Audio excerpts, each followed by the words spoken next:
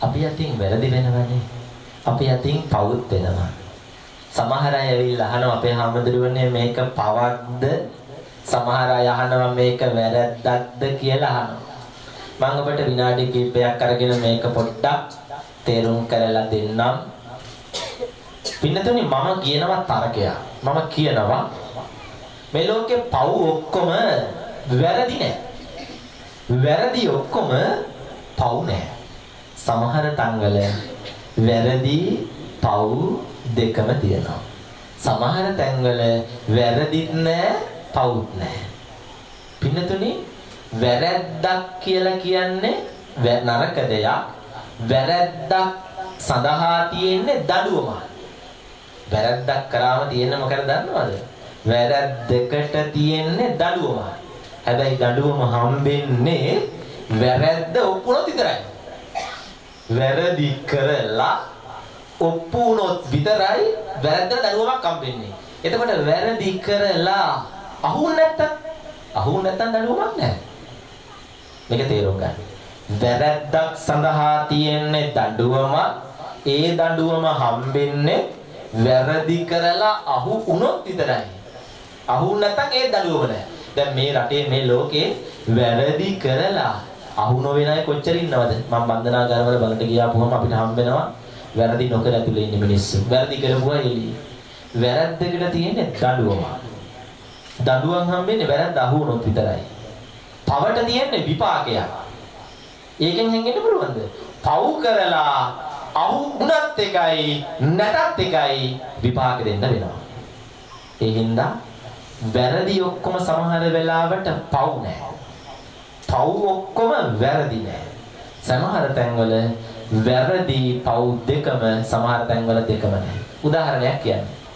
මට කතා කරන්න මේ විදිහට ශබ්ද නගලා ඔයාලා. සාමාන්‍යයෙන් අපේ රටේ නීතිය අනුව බයික් එකක හෙල්මට් එකක් දාන් ගියේ නැත්නම් වැරදිද? වැරදිද කියන්න බලන්න. දැන් ඔය මේ වැලි විහිරේ ඔය උඩුගම් පොළ අපි නෑ යනවා ඉතින් කට්ටිය හෙල්මට් දාන්න නැතුව ඒක වෙනම කතාවක්. රටේ නීති අනුව ගත්තොත් ඒක වැරදිද? වැරදි කියලීම වැරදි. මොකද අපිට දාන්න කියලා නීතියක් තියෙනවනේ. ඒක වැරදි. හැබැයි පවුද? හෙල්මට් එකක් දාන් ගියා කියලා පවු සිද්ධ වෙනවද? පවු සිද්ධ වෙන්නේ නැහැ. උන්න පළවෙනි තරකයේ මම කියනවා මේ ලෝකේ වැරදි ඔක්කොම පව් නෑ.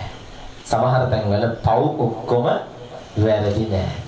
අපේ රටේ නීතිය අනුව පින්නතුනි වැරද්දට තියෙන්නේ දඩුවමක් දඩුවම දෙන්නේ නීතියෙන්. වැරද්දට තියෙන්නේ දඩුවමක් දඩුවම දෙන්නේ නීතියෙන්. නීතියත් අපිට ඕන වෙනස් කරන්න පුළුවන්. සල්ලි බලයට, දඬ බලයට, නිල බලයට වෙනස් කරන්න පුළුවන් නීතිය නවන්න පුළුවන්. මේ ලෝකේ නීතිය නවන්න පුළුවන් ඕන දෙයකට. හරිද?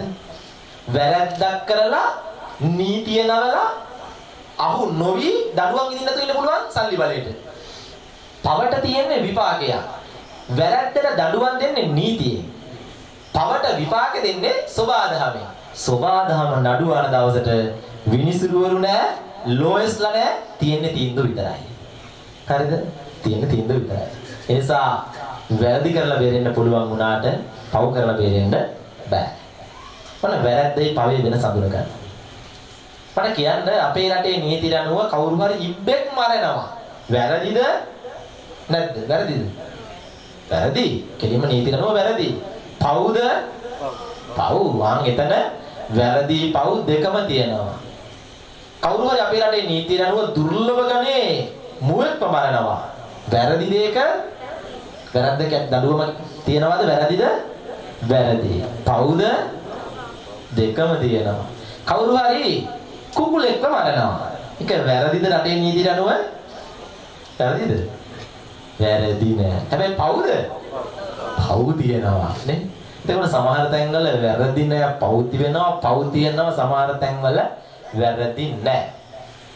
දැන් හිතලා බලන්න සාමාන්‍යයෙන් ලේලන් බස් එකක් කියලා හිතන්න දොරවල් දෙකක් තියෙනවන්නේ ඉන් අවුට් කියලා දෙකක් තියෙනවන්නේ සාමාන්‍යයෙන් මගීන්ව ඇතුළට ගන්න ඕනේ කියලා නීතිය තියෙන්නේ ඉස්සරහ දොරෙන්ද පිටිපස්සේ දොරෙන්ද පිටිපස්සේ දොරෙන් මගීන් ඇතුළට ගන්න ඕනේ මොකෙන්ද පිටිපස්සේ දොරෙන් බස්සන්න ඕනේ මොකෙන්ද ඉස්සරහ දොරෙන් ඉන් අවුට් එකෙන් එම තමයි කරන්න ඕනේ එතකොට රටේ නීතිය නනුව කවුරු හරි පිටිපස්සේ දොරෙන් ගත්තේ නැත්නම් ඒක වැරදිද? වැරදිද? රටේ නීතිය නනුව ගත්තොත් වැරදි. කෙලින්ම වැරදි. මොකද ඒක ඉන් අවුට් කියලා දෙකක් තියෙන එකනේ. හැබැයි පව් සිද්ධ වෙනවද පිටිපස්සේ දොරෙන් කවුරු හරි ගත්තේ නැහැ කියලා? පව් සිද්ධ වෙන්නේ නැහැ. හරියට බැලුවොත් මගියව ගන්න ඕනේ පිටිපස්සෙන් බස්සන්න ඕනේ ඉස්සරහින්. ඒක තමයි ඉතින් රටේ නීතිය, ලෝකේ නීතිය. හරිද? එතකොට පිටිපස්සෙන් ගත්තේ නැත්නම් වැරදි හැබැයි පව් නෑ. සාමාන්‍යයෙන් එතකොට බස්සන්න ඕනේ මොන දොරෙන්ද? ඉස්සරහින්. ගන්න ඕනේ මොන දොරෙන්ද? පිටිපස්සෙන්. මං බස් එකට නගිද්දි මොන දොරෙන්ද නගින්නේ? ඈ? ඉස්සරහින්. ඒක වැරදිද? ඒක වැරදිත් නෑ. පවුද? ඒක පවුත් නෑ. හෙල්මට් එකක් දාන් යන්න තියෙක වැරදිද? වැරදි. වැරදි. පවුද? පව් නෑ.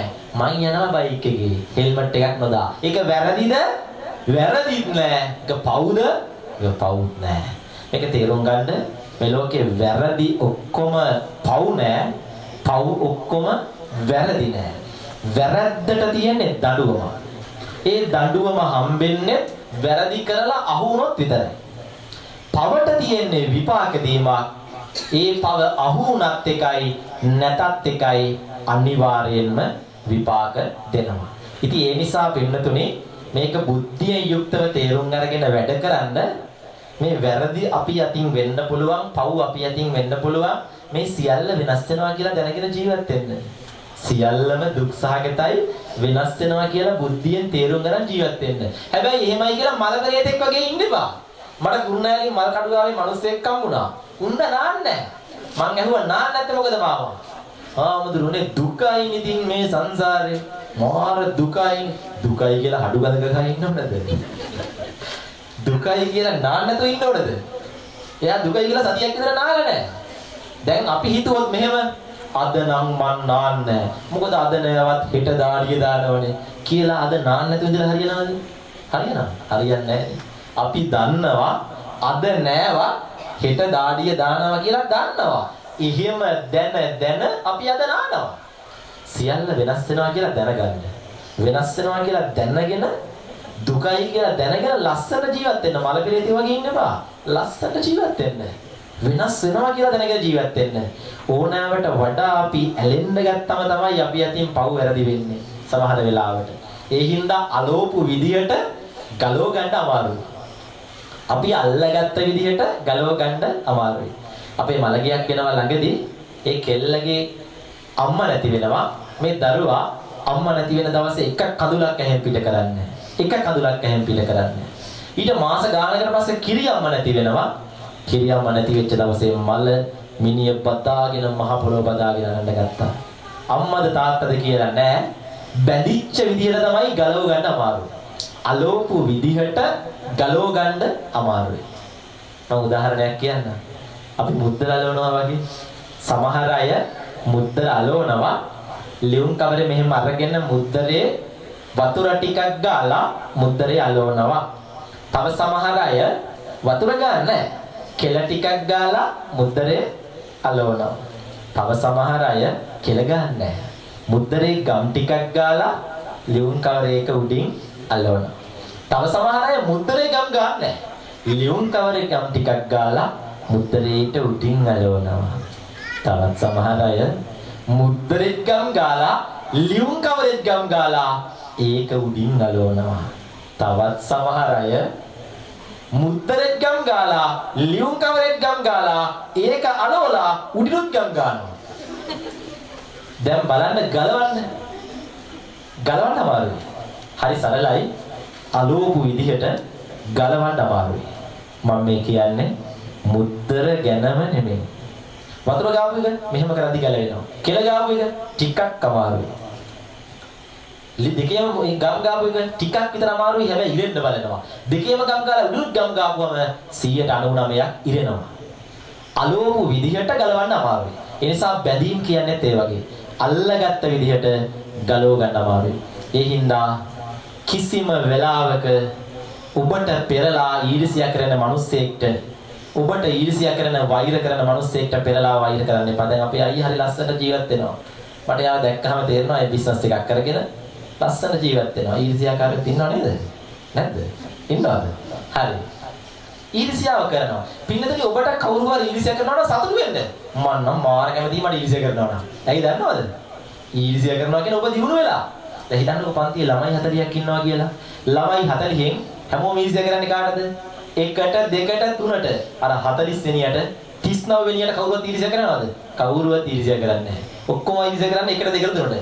ඔබ පැල්පතක වැටලා ඉන්නකෝ. ඔබට කවුරුවත් ඊර්ෂ්‍යා කරන්නේ නැහැ. ඒ කියන්නේ මම ඔබට ඊර්ෂ්‍යා කරන්න ඔබට වඩා දෙයක් මට තියෙන්න ඕනේ. ඔබට වඩා දෙයක් මට වඩා දෙයක් ඔබට තියෙන්න ඕනේ. මට වඩා දෙයක් ඔබට තිබෙන්න ඕනේ. එතකොට තමයි මම ඔයාලට ඊර්ෂ්‍යා කරන්නේ. හරිද? ඒ නිසා ඊර්ෂ්‍යා කරනවා නම් කවුරු හරි සතුටු වෙන්න. සතුටු වෙන්න. ඔබ දිනු වෙලා කියන්නේ. ඒ නිසා ඊර්ෂ්‍යා කරන මිනිස්සුන්ට පෙරලා වෛර කරන්න එපා. මොකද ආදරය බොරුවක් බොරුවක් වුණාට වෛරය කියන්නේ හැම වෙලාවෙම ඇත්තා. මම ඔයාට ගොඩක් ආදරේ කියලා ඇත්තට කියන්නත් පුළුවන් බොරුවට කියන්නත් පුළුවන්. ආදරේ ඇත්තටම කරන්නත් පුළුවන් බොරුවට කරන්නත් පුළුවන්. ඒ නිසා ආදරය බොරුවට කරන්න පුළුවන් වුණාට වෛරයට බොරු කරන්න බෑ. මම ඔයාට ආදරේ කියලා ඇත්තට කියන්නත් පුළුවන් බොරුවට කියන්නත් පුළුවන්. හැබැයි කිව්වොත් මං ඔබට වෛර කරනවා කියලා ඒක බොරුවක් නෙවෙයි. ඒක ඇත්තක්මයි. මොකද වෛරය බොරුවට කරන්න බෑ. ඒ නිසා මේ බව තේරුම් අරගෙන ඇත්තටම වෙනස් වෙනවා කියලා දැනගෙන ජීවත් වෙන්න. එතකොට ගැටලු හරි අඩුයි. අන්තෝ ජටා බහි ජටා ජටාය ජටිතා පජා අපිට විසඳුම් හොයාගන්න හරිම ලේසියි. ලස්සන වෙන්න මිදුලක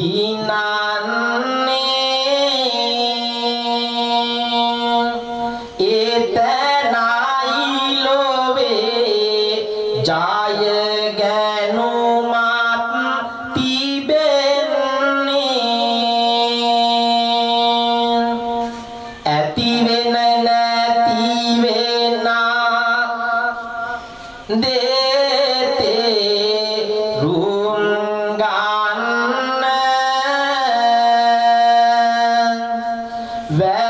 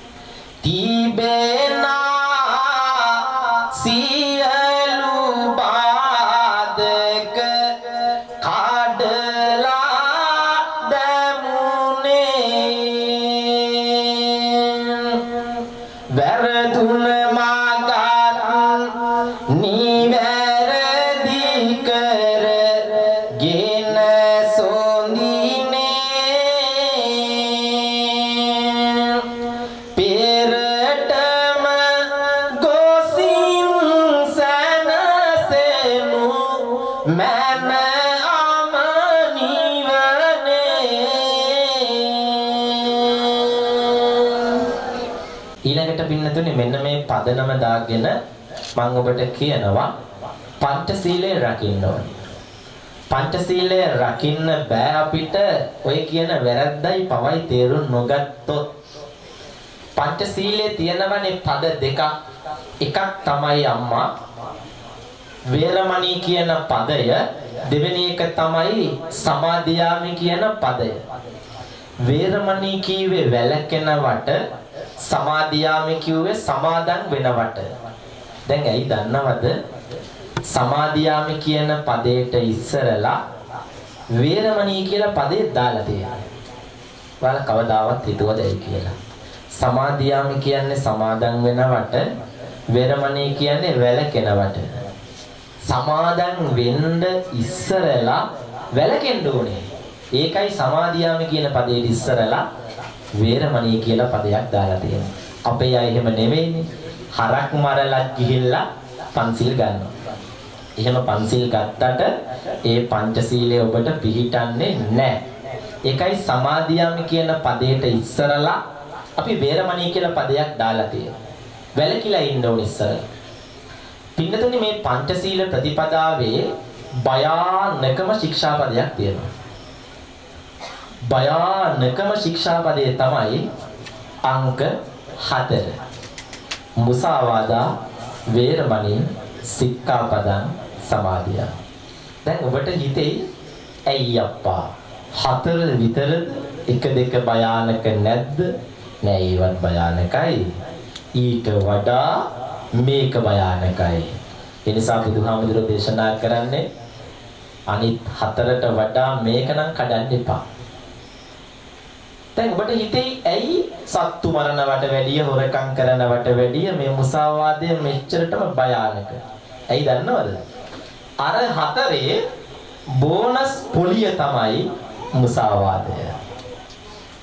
අර හතර හැමදාම කඩද්දී මේක නිකම්ම කැඩෙනවා. මෙන්න මේකයි මෙච්චර භයානක වෙන්නේ. අර හතරට පවතින්න බෑ බොරුව නැතුව.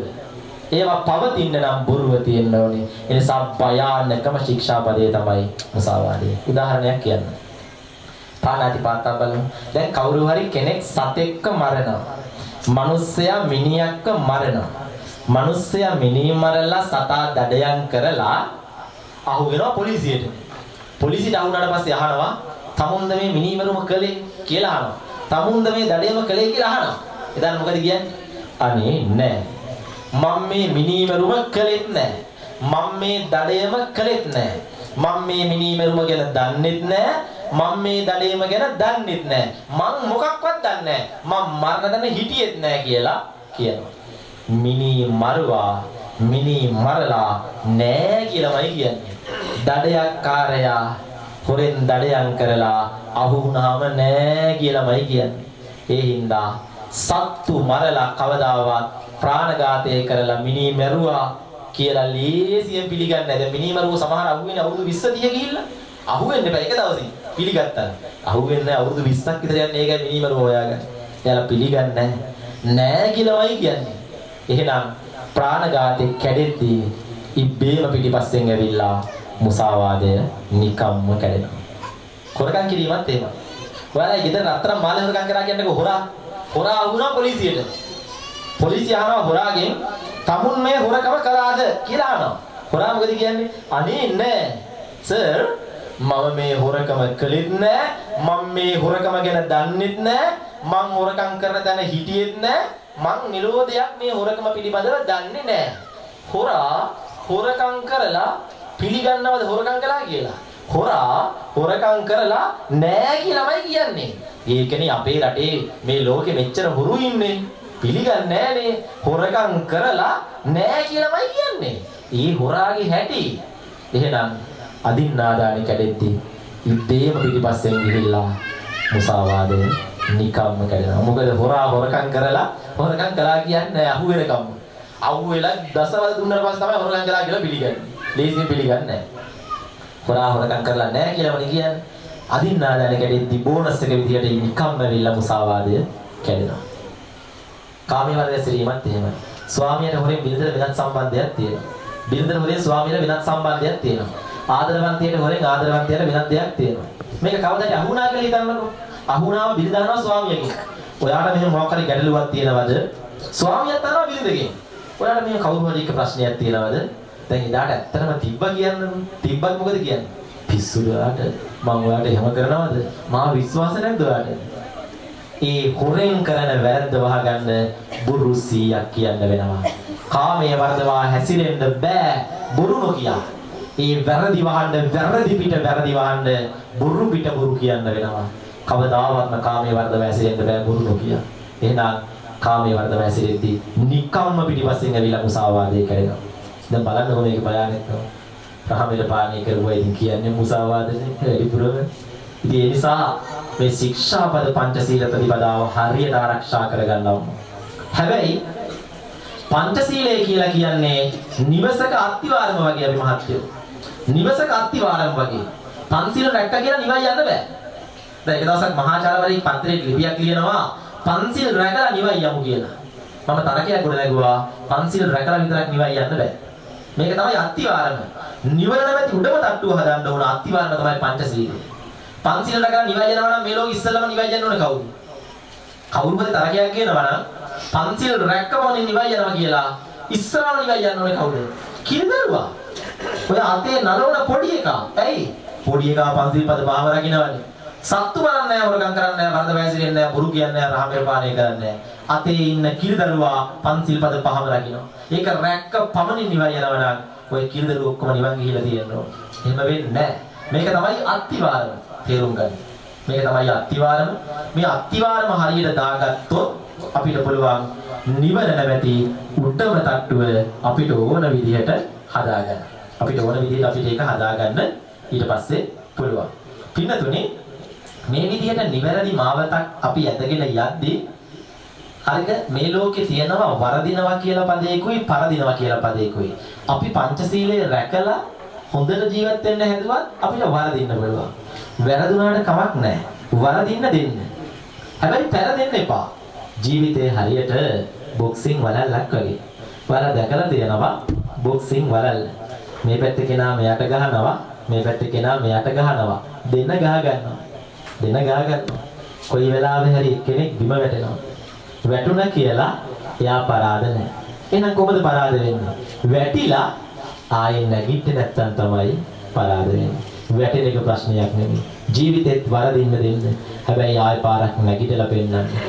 මේ විදිහට පංචශීලයේ රැකලා ඉස්සරහට යද්දී අපිට වරදින් නැතුව පුළුවන් තරම් හොඳට යන්න ඕන නම් පරිකල්පන බුද්ධියක් ඕනේ. වැඩක් කරන් ඉස්සරලා දකින්න පුළුවන් ඥානයක් හදාගන්න. මොකද්ද මේ පරිකල්පනය? දැන් හිතන්නකෝ මෙතන ගයක් හදනවා කියලා. ගේ හදද්දී අපා උපාසක අම්මේ අපි ඇස්තමෙන්තුවක් කරනවා. මේකෙදි කියනවා මේ හරියට එන්නේ අඩි 20යි 20 නිදල කාමරේ. මේ හරිය තමයි 15යි 15 කුස්සිය, මේ හරිය 12යි 12 බාත්රූම් එක. අපි මෙහෙම කියනවා. දැන් මෙහෙම කියන්නේ ගේ හදලාද? තාම හදලා නැහැ. අල්ලලවත් නැහැ. හැබැයි අපි කියලා ඉවරයි මේ හරියට එන්නේ අඩි 20යි 20 නිදන කාමරේ කියලා. ඒකට කියනවා පරිකල්පන බුද්ධිය. යමක් කරන්න ඉස්සලා දකින්න පුළුවන් නම් අපිට වරදින ප්‍රවණතාවය ටිකක් අඩුයි. ඒ නිසා අපි ඉස්සරහට මේ විදිහට අරගෙන යද්දි අපි යටින් සුළු සුළු අඩුපාඩු සිද්ධ වෙන්න පුළුවන්. අපි කවුරුවත් සර්ව සම්පූර්ණ නැහැ. ඔයාලවත් මංවත් 100ට 100ක් හොඳ මිනිස්සු නෙමෙයි. 100ට 100ක් හොඳ මිනිස්සු නෙමෙයි. ඒකනේ පැන්සලක් උඩ මකණයක් එන්නේ. පුතේ වැරදුනොත් මකා ගැනීම කියලා. ඔයාලවත් මංවත් 100ට 100ක් හොඳ නැහැ. අපි යටින් වැරදියට පාඩු වෙනවා. හැබැයි මේමයි 198ක් හොඳ තිබිලා 100ට දෙකක් වගේ වැරදි තියෙන්න පුළුවන්. එතකොට 198 හොඳ කතා කරන්න දෙකේ වැරද්ද වගේම. අපේ අය මොකද කරන්නේ? 98 පැත්තකින් තියලා අර දෙක ගැන කතා කරනවා. 198ක් හොඳ මිනිස්සෙක් 100ට දෙකක් වැරදි කළා කියලා එයා සදාකාලික හංවඩු ගහන්න එපා වැරදි කියලා. ඔයාලවත් මංවත් 100ට 100ක් තාම හොඳ මිනිස්සු නෙමෙයි. එහෙම හොඳ වෙනවා මාර්ගඵල ලැබෙන රහත් වෙන දවසට. එතකන් ඔයාලවත් මංවත් 100ට 100ක් හොඳ මිනිස්සු නෙමෙයි. අපි අතින් වැරදි වෙනවා. 198ක් දෙයනේ හොඳ තිබිලා එකක් දෙකක් වැරදි වුණා කියලා එයාට මඩ ගහන්න එපා. ප්‍රචාරය කරන්න එපා වැරදි කියලා සදාකාලික. මහ විශාල පොල්වත්තක ඔය ආහාරයෙන් මේ අඹ ගහ දෙකක් තියෙන්න පුළුවන්. විශාල පොල්වත් ලැබ ගන්න දෙකක් තිබ්බ කියලා ඒක පොල්වත්තක් මිසක් අඹවත්තක් වෙන්නේ නැහැ. ඔය මහ විශාල කෙහෙල්වත් එක ආහාරයෙන් මෙහෙම peer ගහක් දෙකක් තියෙන්න පුළුවන්. විශාල කෙසෙල් වත්තේ ඔය එහෙම මෙහෙම peer ගහක් දෙකක් තිබ්බ කියලා ඒක කෙසෙල් වත්තක් මිසක් peer වත්තක් වෙන්නේ නැහැ කවදාවත්. ඉතින් ඒ හින්දා හොඳ මිනිස්සෙක් ගාව වැරදි අඩුපාඩු තිබ්බ කියලා සදාකාලික හම්බඩු ගහන්න එපා වැරදි කියලා. ඔබට නැගිටින්න පුළුවන් මාවතක් තියෙනවා. දිනන්න පුළුවන් ශක්තියක් තියෙනවා. ලෝතර බුදුරජාණන් වහන්සේගේ ධර්ම මාර්ගයක් තිබෙනවා. මේ මාර්ගය ඔබ හැම දිනාම ගමන් කරන්න ඕන. මේ විදිහට නිවැරදිව මාවතේ අපි යද්දී අපිට අප්‍රමාණ බාධක එන්න පුළුවන්. ඒ නිසා ඔබේ ගමන ඔබට යන්න ඔබේ සයිස් එක ප්‍රශ්නයක් කරගන්න එපා. සයිස් එක ප්‍රශ්නයක් වුණා නම් අදටත් කැලේ රජුව සිංහයා නෙමෙයි අලියා. සිංහයා කැලේ නායකයා. අපි ඒක දන්නවා. සිංහයා කියන්නේ කැලේ ඉන්න ලොකුම සතක් නෙමෙයි. ලොකුම සතා අලියා. සිංහයා කියන්නේ කැලේ ඉන්න උසම කෙනෙක් නෙමෙයි. උසම කෙනා ජිරාෆ්. සිංහයා කියන සත්තුන්ගේ හයියම කෙනෙක් නෙමෙයි. හයියම කෙනා රයිනෝ. සිංහයා කියන සත්තුන්ගේ වේගම කෙනෙක් නෙමෙයි. වේගම කෙනා චීටා. මේ එකක්වත් නැති සිංහයා කොහොමද නායකයා වෙන්නේ? ඒ තමයි පෞරුෂත්වය. ඔබේ සයිස් එක ප්‍රශ්නයක් කරගන්න එපා. මේ ලෝකේ ලොකුම දේ නෙමෙයි. මේ ලෝකේ වටිනාම දේ නිර්මාණය කරන්න. මේ ලෝකේ ලොකුම දේ හදුවා කියලා ඒක මේ ලෝකේ වටිනාම දේ වෙන්නේ නැහැ. ඒක ලේලන් බස් එකකට සීට් 54ක් එද්දී ලැම්බෝගිනි එකට සීට් දෙකක් එන්නේ. ඒ නිසා ලොකුම දේ නෙමෙයි වටිනාම කෙනෙක් බවට ජීවිතේපත් වෙන්න ඕනේ ඔබ. වටිනාම කෙනෙක් විදිහට නිවැරදිවපත් වෙන්න. ඒ හින්දා අපිට ආයෙ නවතින්න කාලයක් නෑ මගේ අත්තරන් අම්මේ. උදේ පාන්දර නැගිටින සිංහයා හිතන්නේ මොකක්ද දන්නවද? අද මම මුවාට වැඩිය වේගෙන් දුවන්න ඕනේ. මොකද සිංහයා දන්නවා අද මට දුවා ගන්න බැරි වුණොත් අද මම අනිවාර්යයෙන්ම බඩගින්නේ කියලා. උදේ පාන්දර නැගිටින මුවා හිතනවා අද අනිවාර්යෙන් මම පස්සේ පන්නන සිංහයාට වැඩි වේගෙන් මන් දුවන්න ඕනේ. මොකද මුවා දන්නවා අද මට දුවා ගන්න බැරි වුණොත් අද මම මැරෙනවා කියලා. ඔබ කවුද කියන එක අදාළ නැහැ. ඔබට මේ ගමන යන්නම වෙනවා. බෙල්ල වල දාගෙන මැරෙන්න නෙවෙයි. ආපහු හැරෙන්න නෙවෙයි. ජීවිතයක් ලැබිලා තියෙනවා. ඒ වටිනාතර වූ ජීවිතෙන් අපි අරමුණක් ඇතිව නිවැරදි මාවතක් ඇතිව අපි අපේ ගමනේ ඉදිරියටම යන්න ඕනේ. බාධක පෙරලගෙන අපි යන්න ඕනේ. ශක්තියක් වෙලා යන්න ඕනේ. අපි හරි මාර්ගයේදී අපිට හැමෝම සතුටු කරන්න බෑ. අපිට හැමෝම සතුටු කරන්න බෑ. හැබැයි පින්නතුනි මතක තියාගන්න මේ ජීවිතේ වෙරළක් වෙන්න එපා. අර කතාවක් තියෙනවා. The story goes that still water runs deep කියලා. නිශ්චල ජලය හරි ගැඹුරුයි. විරලේ රළ කෑ ගහන විතර විරල රළ ඉන්නේ කොහොමද? කෑ ගහගෙනනේ. උඩ දාගෙන යකා වගේ ඉන්නේ විරල රළ.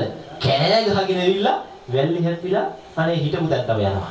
ඒ නිසා කෑ ගහනවා සද්දේ විතරයි. වැඩ නෑ හැබැයි actually goes that still water runs deep. නිශ්චල ජලය හරි ගැඹුරුයි.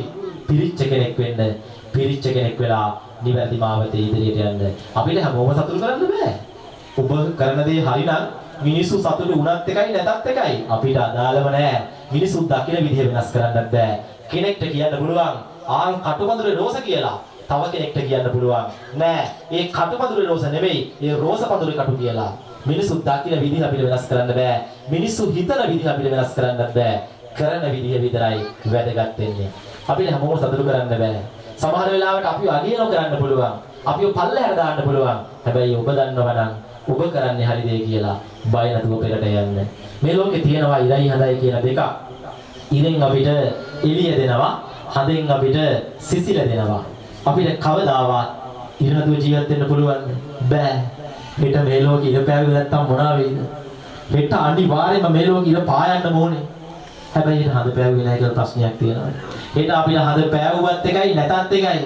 අපිට වැඩක් නැහැ හඳ හෙට. හැබැයි අනිවාර්යෙන් හෙට ඉර ඕනේ. හැබැයි මේ ලෝකෙ මිනිස්සු වැඩියෙන් ආදරේ. ඊට නෙමෙයි හදට. කවියෝ කවි ලියන්නේ හද ගැන පොඩි එකාට කියලා දෙන්නේ හද මාම ගැන හදේ සිසිල වගේ කියනවා. ඔක්කොම ආදරේ හදට. හැබැයි අපිට හද නැතු ඉන්න පුළුවන්. කවුරුවත් ආදරේ නෑ ඊට හැබැයි අපිට ඉන්නතු ජීවත් වෙන්න බෑ. ඔබ ගැන කතා කළත් නොකළත් අදිෂ්ඨානයෙන් ඔබේ ගමන යන්න. අදිෂ්ඨානය ගැන පුංචි කවි පන්තියක් තියෙනවා මම පැහැදිලි කරලා දෙන්නම්. රත්නශ්‍රී විජේසිංහ කවියා ලියනවා කවි පන්තියක් ගොළු බෙල්ලා සහ ළමයා කියනවා පුංචි කාලේ පොඩි කාලා පුංචි දරුවෝ ගොළු බෙල්ලෝ අතර අරන් දඟලනවනේ අපිත් කරන්නේ නැති. මේ රත්නශ්‍රී විජේසිංහ කවිය හරි ලස්සන කවි පන්තියක් ලියනවා. උස ගහකට ගොළු බෙල්ලෙක් නගින්න හදනවා පුංචි දරුවෙක් දකිනවා. පුංචි දරුවා දැක්කම පුංචි දරුවා කොහොම හරි ගොළු බෙල්ලගේ ගමන වටන්න හදනවා. ගිහිල්ලා කියනවලු ගොළු බෙල්ලාට මෙන්න මෙහෙම. මේ අදිෂ්ඨානය ගැන මම දැකපු හරි ලස්සන කවි පන්තියක්. ගෝලු බෙල්ලෝ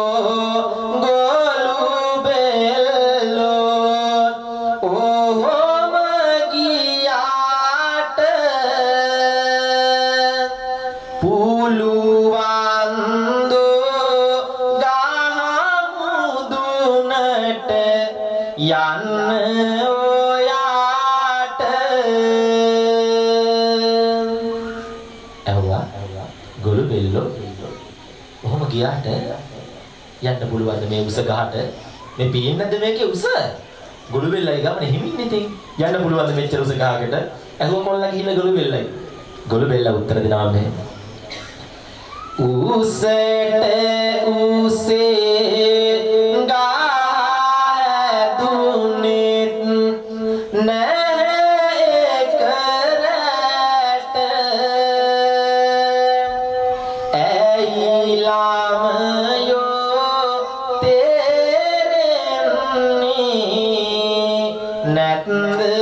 ඔයාට කියනවා. කියනවා ඉතින් පුතේ මේ ගහත් එකපාර හැදුන්නේ නැහැ. මේ ගහත් හැදුනේ ටික ටික. උසට උසේ ගහ දැන් තිබ්බට මේකත් හැදුනේ ටික ටික. ඉතින් ඒක තේරෙන්නේ නැද්ද ඔයාලට කියලා අහනවා. කොල්ලා කොහොම හදන්නේ? ගොළුබෙල්ලගේ ගමන නවත්තන්න. කොල්ලා ගොළුබෙල්ලට තුන්වෙනි කවිය මේ විදිහට කියනවා. කොල්ල විතරයි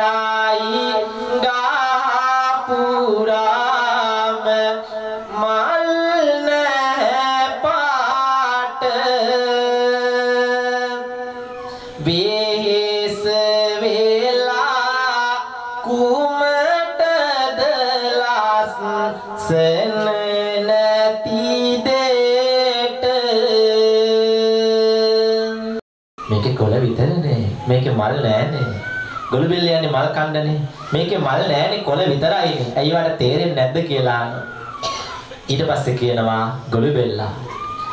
ඒක රැයකින් ලස්සන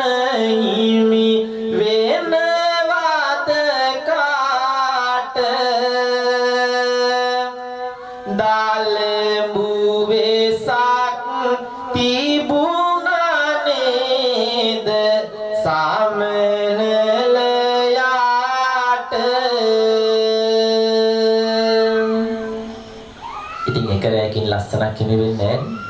සමනලයා සමනලයා වෙන්නේ දලඹුවෙක් කියලානේ. ඒක වාට තේරෙන්නේ නැද්ද කියලා අහනවා. ළමයාට ටිකක් තරහ ගියා. කියන දේ අහන්නේ උඩ මල් පිපිලා නැහැ කීවට අහුවේ නැහැනේ. කොළ විතරයි කීවට අහුවේ නැහැනේ. ඒ නිසා ළමයා තරහ ගිහිල්ලා එයාගේ අවසාන කවිය මෙහෙම කියනවා. හිමින් හිමින් ගාට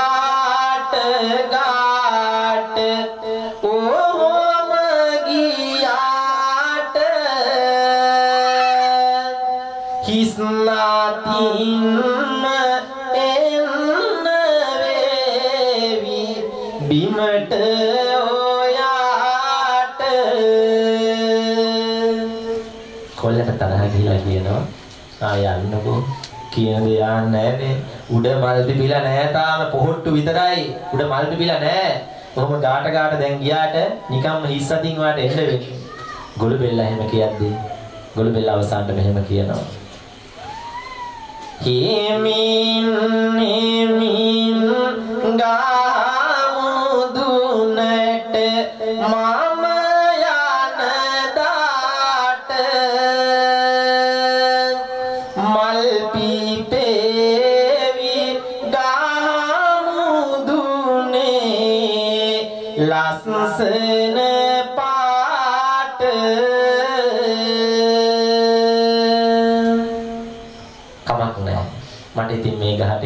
ගොඩක් කල් යනවනේ. හිමින් හිමින් මයි යද්දි එදාට පිපිලා නැති මල් එදාට පිපිලා තියෙයි. මං හිමීට යන්නම්. මේ තමයි අදිෂ්ඨානය. ඒ නිසා ඒ අදිෂ්ඨානයේ යුක්තව ගමන යන්න. තව විනාඩි 10ක් අරගෙන එක කාරණාවක් මතක් කරලා ධර්මදේශනාව නිමාවටපත් කරනවා. අම්මා තාත්තා ගැන වචනයක් කියලා ධර්මදේශනාව නිමාවටපත් කරන්න පින්නතුනි. මම බලාපොරොත්තු වෙනවා විශේෂයෙන් මේ අම්මා තාත්තා සිහිපත් කරන හින්දා අම්මා තාත්තා ගැන වචනයක් අවසාන වශයෙන් ප්‍රකාශ කළ යුතුයි කියලා මට හිතෙනවා. කෙටියෙන් දිගව කියන්න වෙලාවක් නැහැ. කෙටියෙන් අම්මා තාත්තා ගැන වචනයක් මම ඔබට කියන්නම්. අම්මා තාත්තා ගැන කියලා ඉවර කරන්න බෑ. පින්නතුනි මේ ලෝකේ තියෙනවා ජීවමය අක්ෂර හිමි වචන જાතිය. දැන් හිතන්න මෙතන වතුර එකක් තියෙනවනේ. මේකට පාලියෙන් කියන්නේ උදක. සිංහලෙන් කියන්නේ වතුර. හරිද? එතකොට ඉංග්‍රීසියෙන් කියන්නේ water. එක එක භාෂාවල එක එක පද තියෙන්නේ. එක එක භාෂාවල එක එක පද තියෙන්නේ. ඔයාලා දන්නවද මේ ලෝකේ අම්මා කියන වචනයයි තාත්තා කියන වචනයයි ඇතුලේ තියෙනවා ජීවමය අක්ෂර දෙකක්. මේක තියෙන්නේ මව පියා කියන වචන දෙක ඇතුලේ ප්‍රබල වශයෙන්. ජීවමය අක්ෂර කියන්නේ මන්ත්‍රයක් වගේ ජප කරපු අකුරු දෙකක්. අම්මා කිව්වොත් ම අකුර. මන්ත්‍රයක් වගේ ජප කරලා තියෙන්නේ අකුර. ඇයි කියලා අහන්න එපා. ඒක කියන්න වෙනම දවසක් යනවා. ඒක ලොකු කතාවක්. පියා කිව්වොත් ත අකුර. දැන් වෙන භාෂාවල එහෙම නැහැනේ වෙන වචනවලදී මේ වෙන වෙන වචන තියෙන භාෂාවල. අම්මා කිව්වොත් ම අකුර පියා කියලා කිව්වොත් ත අකුර.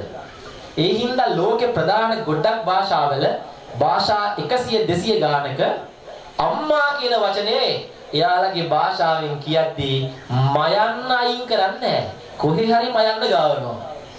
ඒක වෙනම කතාවක්. ඒක ලොකු කතාවක්. පස්සේ කියන්න දවසේ. පියා කියලා කිව්වොත් ත අකුර අයින් කරන්නේ නැහැ. මොකද ඒක මන්ත්‍රයක් වගේ ජප කරපු අකුරක්. අම්මා කිව්වොත් ම පියා කිව්වොත් ත බලන්න මේ අකුරු දෙකේ තියෙන බලය. ඒ නිසා මේ ලෝකේ ජීවමය අක්ෂර දෙකක් හිමේ ප්‍රබලම වචන දෙක තමයි මව පියා. දැන් බලන්න උදාහරණ කීපයක් කියන්න. සංස්කෘත භාෂාවේ අම්මට කියන්නේ මාතු. බලන්නකො මයන්න තියෙනවා. මයන්න තියෙනවා. පාලි භාෂාවේ මාතු මයන්න තියෙනවා. අයින් කළේ නෑ. සිංහල භාෂාවේ මව මයන්න තියෙනවා. අයින් කළේ නෑ. දෙමළ භාෂාවේ අම්මා මයන්න තියෙනවා අයින් කළේ නෑ ඉංග්‍රීසි භාෂාවේ මද MOTHER මයන්න තියෙනවා අයින් කළේ නෑ. හින්දි භාෂාවේ මා මයන්න තියෙනවා අයින් කළේ නෑ. මේ විදිහට භාෂා සිය ගානක අම්මා ගැන කියද්දි මයන්න අයින් කරන්නේ පියා බලන්නකෝ ප්‍රයාගුර සංස්කෘත භාෂාවේ තාත්තට කියන්නේ පිතු. ප්‍රයාගුර තියෙනවා. අයින් කළේ නෑ. පාලි භාෂාවේ පිතු. ප්‍රය අකුර තියෙනවා. අයින් කළේ නැහැ. සිංහල භාෂාවේ පියා. ප්‍රය අකුර තියෙනවා අයින් කළේ නැහැ. ඉංග්‍රීසි භාෂාවේ පාද ප්‍රය අකුර තියෙනවා අයින් කළේ නැහැ. ඉංග්‍රීසි භාෂාවේ පාද දෙමළ භාෂාවේ අප්පා ප්‍රය අකුර තියෙනවා අයින් කළේ නැහැ. තව ගොඩක් කියන්න පුළුවන්. හොඳට චෙක් කරලා බලන්න. ලෝකෙ ගොඩක් භාෂාවල අම්මගේ ම අකුරයි පියාගේ තොය අකුරයි අයින් කරන්නේ නැහැ. ලෝකේ ජීවමය අක්ෂර දෙකක් කිමි ප්‍රබලම වචන දෙක තමයි අම්මා සහ තාත්තා කියලා කියන්නේ. පින්නතුනි අම්මගේ ආදරේ අමිලයි. ඒක සල්ලි වලට ගන්න බෑ. මිල කියන්නේ මිලයි, අමිලයි කියන්නේ මිල කරන්න බෑ. මිල කරන්න බෑ. කෝටියක් දෙන්නම් අම්මගේ ආදරේ දෙන්න කිව්වට දෙන්න බෑ දෙයියනේ. තාත්තගේ ආදරේ දෙන්න කීවට දෙන්න බෑ. අම්මගේ තාත්තගේ ආදරයට මිලක් කරන්න බෑ. මිලක් කරන්න බෑ. මතක තියාගන්න. අම්මගේ තාත්තගේ ආදරේ ඉච්චරටම උත්තරීතරයි. හැබැයි පහුගිය දවස්වල මම දැක්ක අම්මගේ ආදරේ සල්ලි වලට අරන් තියෙනවා. එක්තරා කිරිපිටි ඇඩ් එකක් දානවා වෙලඳන් මේවා. එයා කියනවා එන්න අපේ කිරිපිටියක බොන්න ඒක බිව්වහම වෙන්නේ තේමා පාටයක් දානවා අම්මගේ ආදරය වගේමයි අම්මගේ ආදරය වගේමයි ඒ කිරිපිටිය කිව්වම අම්මගේ ආදරේ හම්බෙනවද? තාත්තගේ ආදරෙත් මම දැක සල්ලි වලට අරන් තියෙනවා. එක්තරා ඉන්ෂුරන්ස් කම්පැනි එකක් කියනවා එන්න අපේ ඉන්ෂුරන්ස් එකක් දාගන්න. ඒක දාගත්තාම මොකද වෙන්නේ? පියෙකුගේ රැකවරණයෙන්. ඒක දාහම තාත්තගේ ආදරේ හම්බෙනවලු. ඉතින් තාත්තා ඔන්න ඉන්ෂුරන්ස් එකක් දාලා අපි යමු. අම්මගේ තාත්තගේ ආදරේ සල්ලි වලට ගන්න බෑ දෙයියනේ. මේක එච්චරටම උත්තරීතරයි. අම්මා කියලා කියන්නේ මේ ලෝකේ ප්‍රබලම අපේ උත්තරීතර වූ මාතාව. අදටත් විද්‍යාඥයන් අභිලාෂා මේ පැත්තෙන් ලේ ටිකක් දාලා මේ පැත්තෙන් කිරි කරන්නේ කොහොමද කියලා. යන්ත්‍ර සූත්‍ර මාර්ගයෙන් කරන්න පුළුවන්. අදටත් අම්මට විතරයි මේ දේ කරන්න පුළුවන්. යන්ත්‍රයක් නැතුව. මව් සෙනෙහසට කිරි වෙනවනේ. මව් සෙනෙහස වෙනුවෙන්. හිතන්න. අම්මා තාත්තා කරපු කැපකිරීම අපිට කරන්න බෑ. අම්මා තාත්තා කරපු කැපකිරීම අපිට කරන්න බෑ පින්නතුනි. ඒක උත්තරීතරයි එච්චරටම. හිතන්න මන් දෙනවා ගඩොල් භාගයක් අදට. ගඩොල් භාගෙ දීලා කියනවා අනේ මේ ගඩොල් භාගෙ පොඩ්ඩක් උස්සන් ඉන්නකෝ මාස 6 7. උස්සන් ඉඳීද අපි? උස්සන් ඉන්නේ උස්සන් ඉන්නේ නෑ මතක තියාගන්න. අපි අල්ලා විසික් කරලා දානවා. හැබැයි ඊටත් වඩා බරක් අම්මා අපි උස්සගෙන හිටියා. අම්මා කරපු කැපකිරීම උත්තරීතරයි. හිතලා බලන්න ඔයාලා හොඳට පාන්දර දෙකට විතර ගුරෝ ගුරෝ නිදි.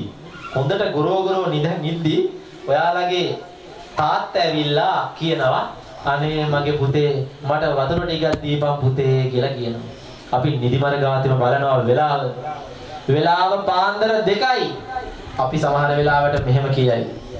මොනවද අම්මේ? පාන් මොනවද තාත්තේ? පාන්දර දෙකයි. ඇයි මට මෙහෙම කරදර කරන්නේ? පාන්දර දෙකයි ඇයි ගිහිල්ලා තේ ටික හදාගන්න බැයිද වතුර ටික හදාගන්න බැයිද කියලා අපි අනිවාර්යෙන්ම බයිනවා අපි අනිවාර්යෙන් බයි සමහර වෙලාවට අම්මා ඇවිල්ලා කිව්වොත් පාන්දර දෙකයි කාලට විතර අනේ මගේ පුතේ මට තේ ටිකක් හදලා දීපන් පුතේ කියලා කියනවා අපි නිදිමර ගාතෙන් බලයි වෙලාව පාන්දර දෙකයි කාලයි අපි අම්මට මෙහෙම කියයි මොනාද අම්මා පාන්දර දෙකක් පහුවෙලා නිදාගන්න දෙන්නේ මලවදියක් නෙමේක අනිවාර්යෙන් බයිනවා බයින් නැද්ද අප්පා අනිවාර්යෙන් බයිනවා අපි. මොකද නිින්ද කැඩුවනේ. පාන්දර දෙකටත් ඇවිල්ලා තේ ඉල්ලනවා. අම්මා. පාන්දර දෙකයි කාලට ඇවිල්ලා අප්පච්චි වතුර ඉල්ලනවා. තරහ යන්නේ නැද්ද අප්පා? තරහ යනවනේ. ඉතින් ඒ හින්දා අපි බයිනවා. හැබැයි අපි බැන්නට අම්මා තාත්තට තරහ ගියේ නෑ. පුංචි කාලේ හිටපු ගමන් අපි කිරි ඉල්ලලා අඬනවා මගේ අම්මේ. වෙලාව 1:45යි 1:45ට නැගිටලා අම්මා අපිට කිරි දුන්නා. වෙලාවකට හිටපු ගමන් අපි කෑ ගහනවා. වෙලාව පාන්දර 3යි කාලයි. තාත්තට නිින්ද ගියා විතරයි.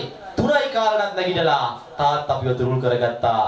හිටපු ගමන් සමහර දවස්වලට අපි කෑ ගහලා අඬනවා. වෙලාව 2:45යි. 2:45ටත් නැගිටලා අම්මා අපිට සමහර දවස්වලට කිරි දුන්නා. අම්මා තාත්තා අපි වෙනුවෙන් නැගිටපු වෙලාවල් මතක් කරන්න බැරි තරම්. හැබැයි අද ඔයාලගේ අම්මා තාත්තා පාන්දර දෙකට ඇවිල්ලා ඔයාලගේ නිින්ද කඩලා වතුර ටිකක් ඉල්ලුවොත් අපිට කොච්චර තරහයයිද? ඒ නිසා අම්මා තාත්තා කරපු කැපකිරීම අපිට කවදාවත්ම කරන්න බෑ. දැන් මේ තාත්තා කෙනෙක් නැති වෙලා ඉන්නේ නේද? ඉතින් තාත්තා කියලා කියන්නේ ඒ අසීමිත සෙනෙහසක්මයි. පින්නතුනේ අප්පච්චි කියලා කියන්නේ වෙනම ශක්තියක්. ළමයෙක්ට තියෙන ලොකුම හයිය තමයි අප්පච්චි. අප්පච්චිට වඳින්න කියන්නේ ඇයි? අපිට මොනා කළාටද? අප්පච්චි අපිට ලොකු දෙයක් කළා. වදින ගාථාවේ කියන්නේ තුන්වෙනි පදේ රාජ මජ්ජං සුපදිට්ටං අප්පච්චි අපිට ලොකු දෙයක් කළා ඒ තමයි රජෙක් ඉස්සරහා වුණා කොන්දගලින් තියාගන්න වැඩ කරන්න හයිය දුන්නේ අප්පච්චි රාජ මජ්ජං සුපදිට්ටං පිටුපාදන් නමා මහ එහෙම කරපු තාත්තටයි අපි මේ වදින්නේ කියලා අප්පච්චිගේ ආදරේ වෙනම එකක් විදිහට අපි තේරුම් ගන්න ඕනේ. ඉතින් ඒ නිසා අම්මා වගේ රතුලේ කරලා කිරි කරලා දුන්නේ නැති එක ඇත්ත. සුදු කිරි කරලා දුන්නේ නැති එක ඇත්ත. අම්මා වගේ දසමාසයක් කුසේ තියාගෙන හිටියේ නැති එක ඇත්ත. හැබැයි අපච්චි කියන්නේ අපිට තියෙන ලොකුම ශක්තිය. එක දවසක් දරුවෙකුයි තාත්තයි ගැහණු දරුවයි තාත්තයි ගමනක් යනවා. මේ විදිහට ගමනක් යද්දි පුංචි ගම්වතුර පාරක් එනවා. ගම්වතුර පාරට එද්දී මේ පුංචි දරුවා බය වෙලා කෑ ගහලා අඬනවා. මේ වෙලාවේ තාත්තා ළමයාගේ ඔළුවට ගාලා කියනවා මගේ දුව බය වෙන්න එපා. ඔයාගේ තාත්තා ළඟ ඉන්නවා. තව ටිකක් වෙලාවේදී ආය වතුර පාරේ වැඩි වෙනවා. ආය වතුර පාරේ වැඩි වෙද්දී ආය ළමයා කෑ ගහලා අඬනවා. ආය සනසනවා. තුන්වෙනි පාරත් අඬනවා. ඒ වෙලාවේ තාත්තා කියනවා මගේ දුව ඔයාට බයයිනේ. එහෙනම් අපි මේ වතුර පාරෙන් ආපහු හැරලා එළියට යමු. මගේ දුව වතුර පාරෙන් එළියට යමු. ඒ හින්දා මගේ දුව දැන් පුළුවන් නම් මගේ අත හයියෙන් අල්ලගන්නකෝ කියලා තාත්තා යෝජනාවක් කරනවා. එහෙම කිව්ව ගමන් කෙල්ල කියනවා අනේ බෑ තාත්තේ මට නම් ඔයාගේ අත අල්ලගන්න බෑ. ඔයා පුළුවන් නම් අනේ තරහ නැතුව මගේ අත අල්ලගන්න කියලා කිව්වා. තාත්තා ඒත් එක්කම hina වෙලා කියනවා. ඉතින් මගේ දරුවෝ මං ඔයාගේ අත අල්ලගත්තා. ඔයා මගේ අත අල්ලගත්තා. කවුරු හරි අල්ලන් ඉන්නවනේ. කෙල්ල කියනවා නෑනේ තාත්තේ. මං ඔයාගේ අත අල්ලගත්තොත් මමනේ අල්ලන් ඉන්නේ. බැරි වෙලාවක් වතුර පාරට බය වුණොත් මගේ අතල ඉස්සලා යන්න පුළුවන්. මොකද මමනේ ඔයාව අල්ලන් ඉන්නේ. හැබැයි ඉතින් මං දන්නවනේ මගේ තාත්තා මගේ අතින් අල්ලගත්තොත් ඔයා කවදාවත් මාව අතාරින්නේ නැහැ කියලා. මේ තමයි විශ්වාසය. මේ තමයි ළමයාට තියෙන ලොකුම හයිය තමයි විශ්වාසය. ඒ තමයි අප්පච්චිගේ ශක්තිය. අපච්චි ගැන හරි ලස්සන ගීතයක් තියෙනවා. ඒකේ පද ටික කියලා මම ධර්ම දේශනාව නිමා කරනවා. ඊයේ පෙරේද හරි ලස්සන ගීතයක් එළිය දැක්වෙනවා තාත්තා ගැන. තාත්තා දැන් මැරිලා මිනි පෙට්ටියේ කරේ ගහගෙන යන්නේ දරුවෝ ටික. මේ දරුවෝ ටික මිනි පෙට්ටියේ කරේ ගහයි යද්දී තාත්තා කතා කරන්න පුළුවන් වුණා නම් මෙන්න මෙහෙම කියයි කියලා මේ ගීතේ ලියනවා.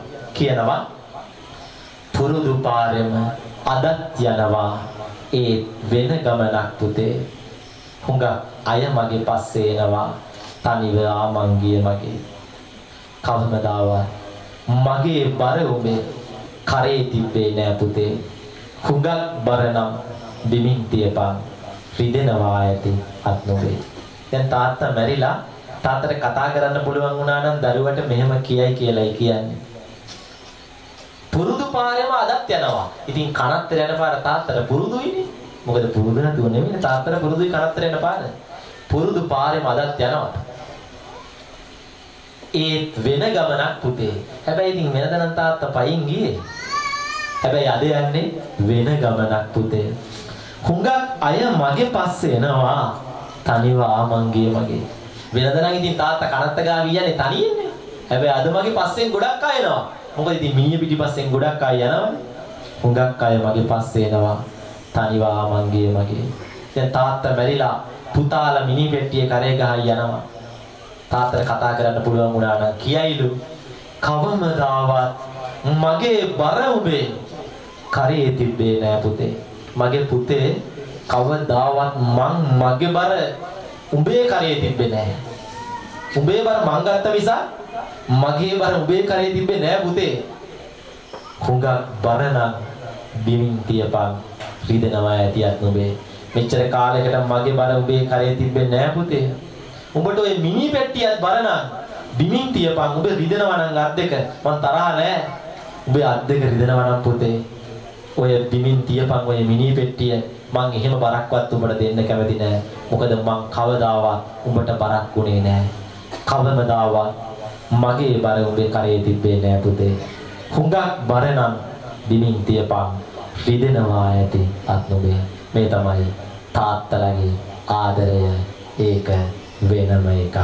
ඒ හින්දා මේ ධර්ම දේශනාව නිමා කරන්නට පෙර පුණ්‍ය අනුමෝදනාව කරන්නයි බලාපොරොත්තු අවබෝධයෙන් යුක්තව අද දේශනා කළ දහමේ නිසි ඵලයක් කරා යන්න පැය දෙකකට වැඩි කාලයක් ඔබ ඉතාම හොඳට බණ ඇහුවා. කියන්න කරුණු තිබ්බත් වෙලාව මදි. ඒ නිසා ධර්ම දේශනාව නිමාවටපත් කරන්න පෙර පුණ්‍ය අනුමෝදනාව කරන්න බලාපොරොත්තු වෙනවා. ෆිල්ම් එකක්වත් අපි පැයක් යද්දි බලනවා දඟලනවා. අපි පැය දෙකකට වැඩි හොඳට බණ ඇහුවා ඔබ ශ්‍රද්ධාවෙන්. එසේනම් ඔබටයි මේ උතුම් වූ ආශිර්වාද පුණ්‍ය අනුමෝදනාව. උත්තම ගුණෙන් සුපාතලලෝ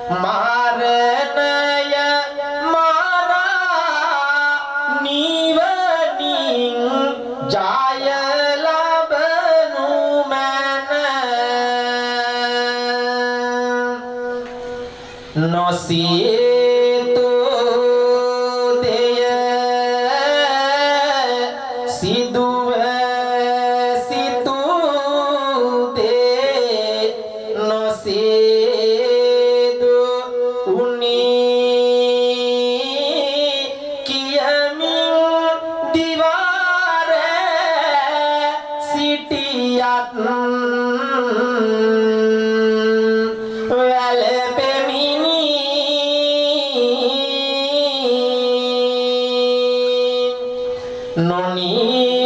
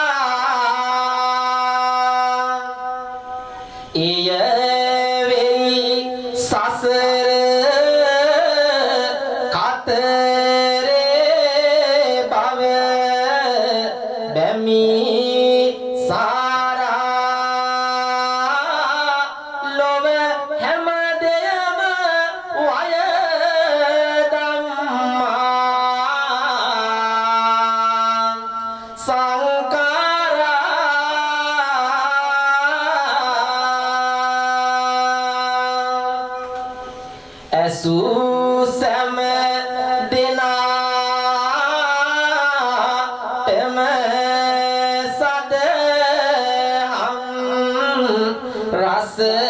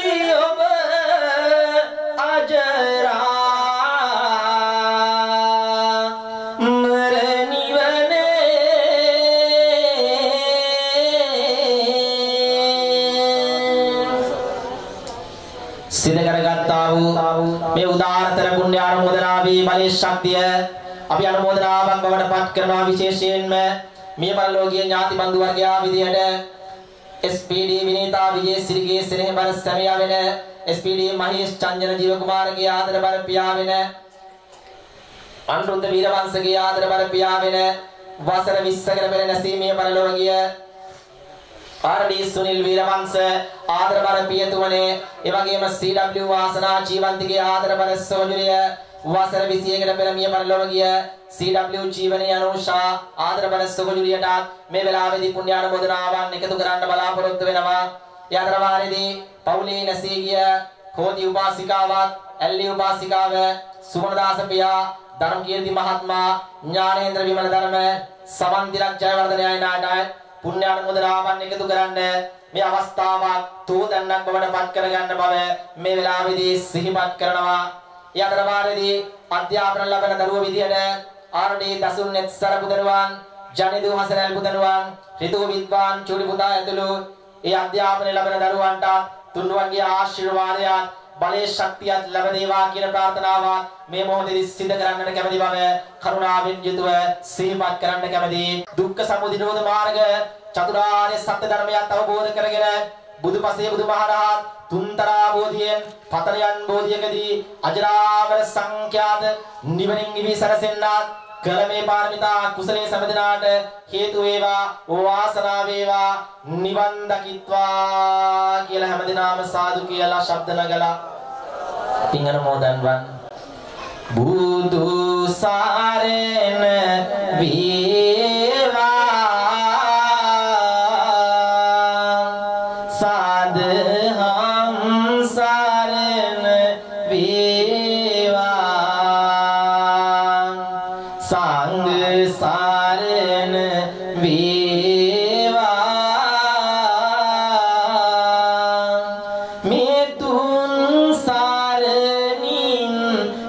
Yeah.